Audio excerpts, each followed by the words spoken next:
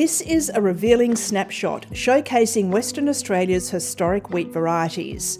The trial near Bolgart is a look back in time, enabling measurement of yield and genetic gains that wheat breeders have achieved over the past 50 years to see the many differences in development of plants and plant types compared to more recent varieties. So the green revolution of the 1960s introduced not only new rust resistance genes that breeders were able to utilise, but importantly, the semi-dwarf genes. The semi-dwarf genes reduce the plant heights to the, the shorter plants that we see today and improved the harvest index of the crops and meant that they put more energy into growing grain rather than biomass. Some of the differences we see between some of the older varieties and some of the newer varieties are propensity for lodging.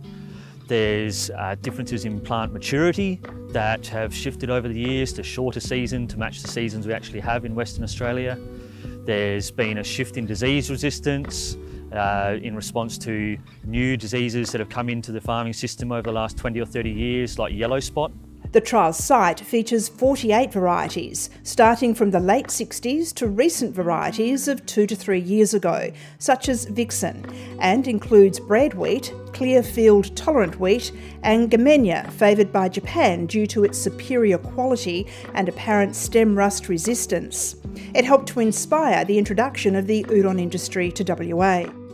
The trial is effectively putting 21st century data behind yield improvements made over almost half a century. As a wheat breeder, it's been really fascinating to walk through this trial and look at some of the older varieties that are great great grandparents, great great great grandparents of the modern day varieties that we've released and continue to develop in the breeding program. It also underlines GRDC's long commitment to partnerships with wheat breeding companies to deliver growers greater productivity through genetic improvements for yield and other key traits such as disease resistance.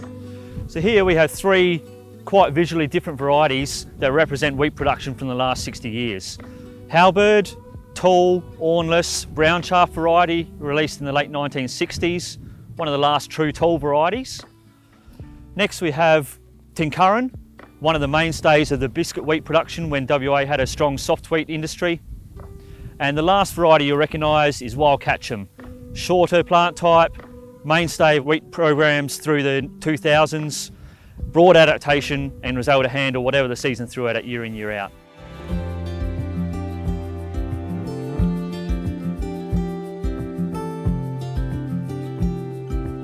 At the 2023 GRDC Grains Research Update in Perth, the discussion moved to the more popular current wheat varieties and their specific traits that benefit growers.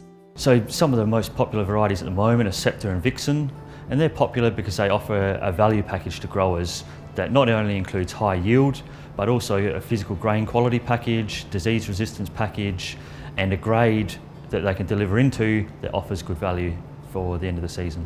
Dion says GRDC's commitment and investment in pre-breeding work and in the genetic space informs the creation of new varieties by breeding companies. So GRDC invests into pre-breeding, which helps breeders improve their understanding of traits, their access to those genetics, and then it's our job to package those up in a variety and deliver it to farmers' paddocks. The long term outcomes of the trial will help inform future breeding work to deliver more profitability for growers, with this trial showing a 0.6% yield gain per year over the last 20 years as a result of wheat breeding. But using other comparable data sets like NVT, we know that the rate's probably closer to 0.8 or 0.9% over the long run. So we'll use the results from this trial work to give us a benchmark of where the breeding industry's come from and where we're heading and in the future be able to check in and see that we're still on the right trajectory in delivering value for growers.